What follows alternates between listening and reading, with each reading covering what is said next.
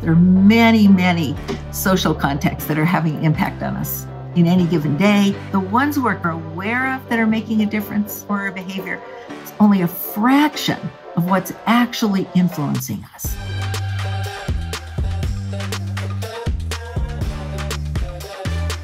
In this study, we were most interested in the foods and beverages depicted in the most popular American movies from the last 25 years. So between the years of 1994 to 2018, these are movies like the Harry Potter movies, the Twilight series, a lot of Disney movies. We watched those movies and we just recorded every time that we saw a food or a beverage depicted. Each of these foods were coded for their nutrition, content, and quality. And then those contents and qualities were compared against several different standards, including federal dietary guidelines. Across the board, the foods and beverages depicted in movies fail US dietary recommendations. So they're depicting more salt, fat, and sugar than what we should be eating, and particularly more alcohol than what we should be drinking.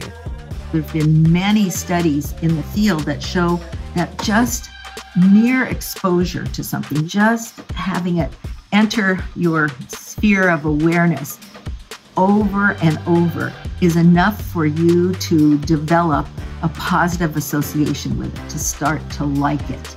So, when you see characters like superheroes or your favorite actors consuming foods, that can subtly influence our behavior in part because they shape our mindsets about food, what's delicious and exciting to eat.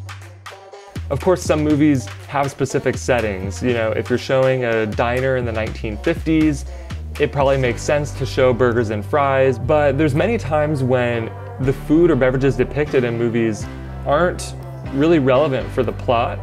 And those are places where we could maybe be more mindful about the types of foods and beverages we're showing. I think it's a really great opportunity for movie producers and actors to be empowered by these findings. Also, to take more of a responsibility for the foods they portray on their screens for millions of people to see.